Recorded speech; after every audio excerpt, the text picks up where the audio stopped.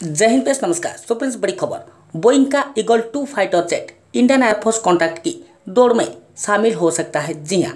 जिससे हमें पता है कि भारतीय वायुसेना जो वैश्विक बाज़ार ग्लोबल मार्केट से 114 114 multi role combat aircraft MRCA प्राप्त कर रही है, जो यूएसए बोइंग कंपनी द्वारा डेवलप्ड और manufacture highly capable F fifteen E X Eagle two खरीदने का विकल्प पसंद कर सकता है।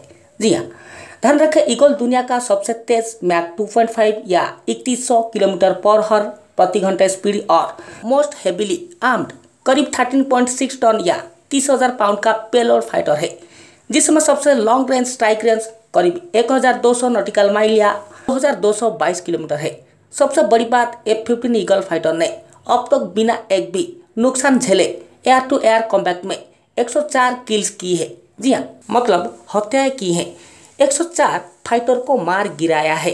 इंडियन एयरफोर्स के एमआरसीए टेंडर के लिए बोइंग ने भारत के साथ ए फिफ्टीन बिक्री पर चर्चा करने के लिए यूएसए गवर्नमेंट से मैंडेटरी लाइसेंस प्राप्त किए हैं।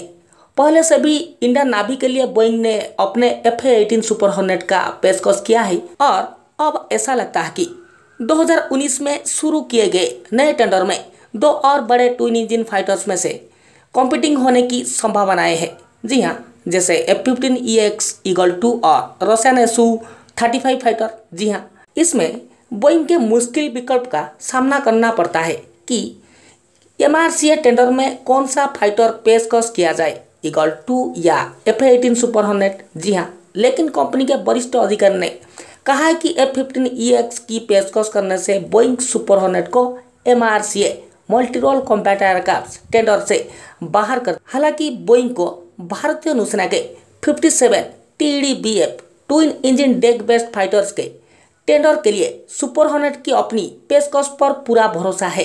हालाँकि नेवी में दूसरे indigenous aircraft carrier I S C two की संभावना पर अनिश्चितता के सात fifty seven T D P F को खरीदने के लिए देख रही है।